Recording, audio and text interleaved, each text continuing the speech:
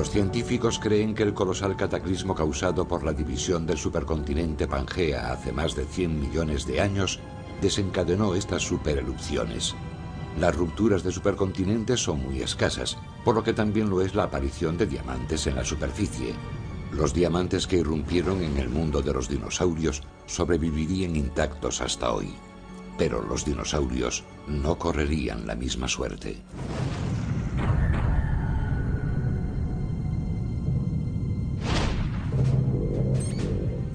Hace 65 millones de años, el planeta florecía. La vegetación era densa en la superficie. Los seres vivos prosperaban como nunca lo habían hecho. Pero los poderosos dinosaurios estaban a punto de desaparecer de la faz de la Tierra.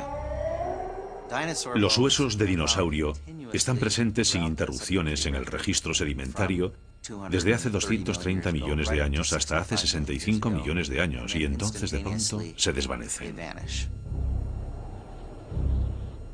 Y no solo los dinosaurios. Más del 70% de las especies de la Tierra desaparecieron. Partiendo de los vegetales, algo terrible ocurrió a todo el ecosistema del planeta.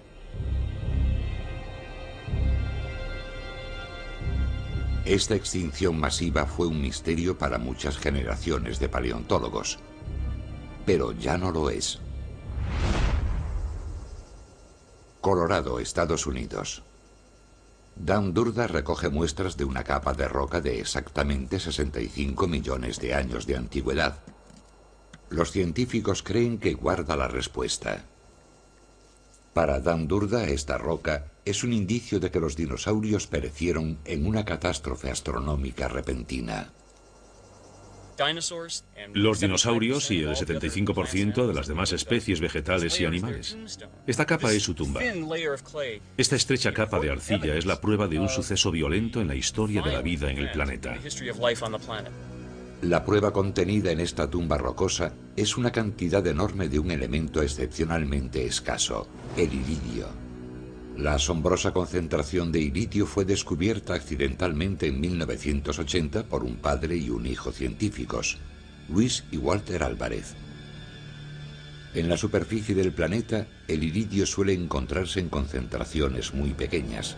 La mayor parte de este elemento tan escaso procede de rocas del espacio, de la multitud de pequeños meteoritos que se desintegran en la parte más alta de la atmósfera cada día.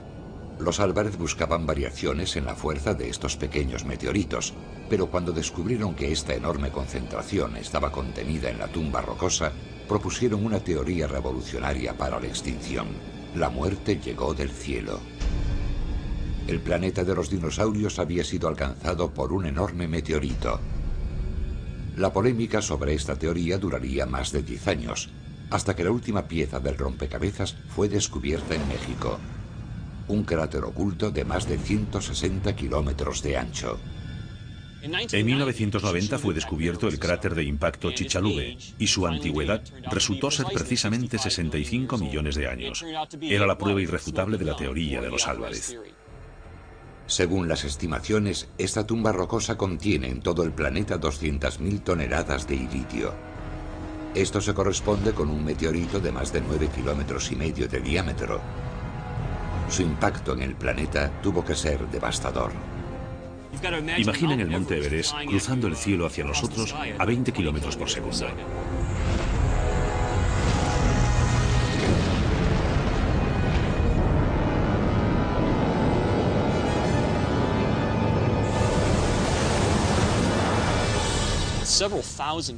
Varios miles de kilómetros cúbicos de corteza terrestre se evaporaron y fueron lanzados por todo el planeta, cayendo de vuelta a través de la atmósfera para posarse en toda la superficie de la Tierra, formando una capa fina de polvo y restos.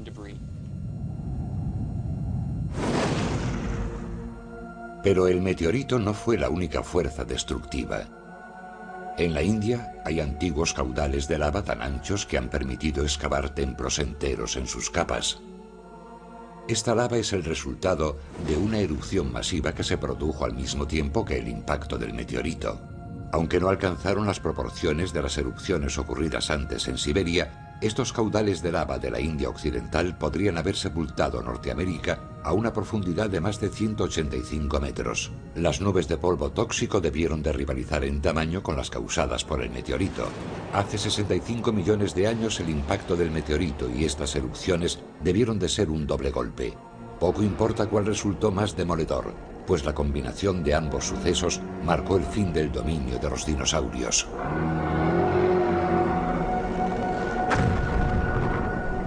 La capa de polvo que cubrió la parte alta de la atmósfera y bloqueó la luz del sol devastó la vida de la superficie. Los inmensos dinosaurios y la mayoría de las especies más importantes se extinguieron. El nuevo mundo que vendría sería el mundo de los mamíferos y el mundo del hombre.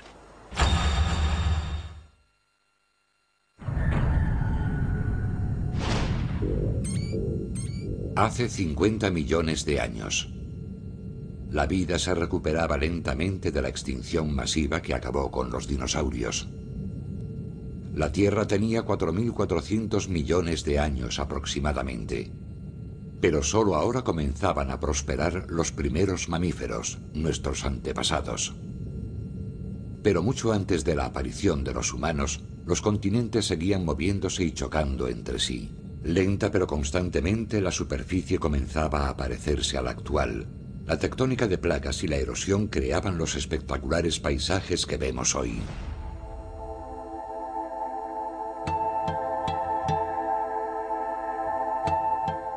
Los Alpes suizos. Algunas cadenas montañosas pueden explicarse por la erupción volcánica de roca de las profundidades de la Tierra. Pero las mayores, como los Alpes, carecen de volcanes. Parecen haberse elevado de las llanuras como por arte de magia. Esta cordillera atraviesa el corazón de Europa y se eleva más de 4,8 kilómetros sobre el nivel del mar. ¿Cómo pudo alcanzar tal altura esta gigantesca masa de roca?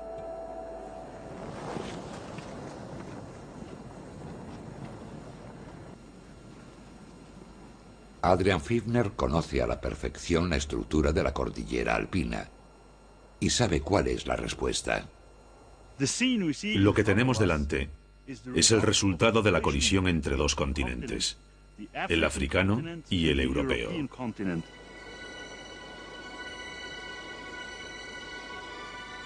Un estudio minucioso de las rocas alpinas puede aportar más evidencias sobre la formación de las montañas. Diminutos cristales de cuarzo desvelan su secreto. Estas láminas miden 25 milésimas de milímetro aproximadamente. Se puede ver a través de los granos. Estos cristales diminutos de la roca revelan una enorme deformación. Los granos de cuarzo del interior de la roca han sido estirados, alargados y aplastados. Hace falta una gran presión para deformar estas rocas, como la que produce la colisión entre dos placas continentales. Durante los últimos 45 millones de años, mientras los continentes se seguían moviendo, la placa y las subplacas africanas habían empujado a la europea.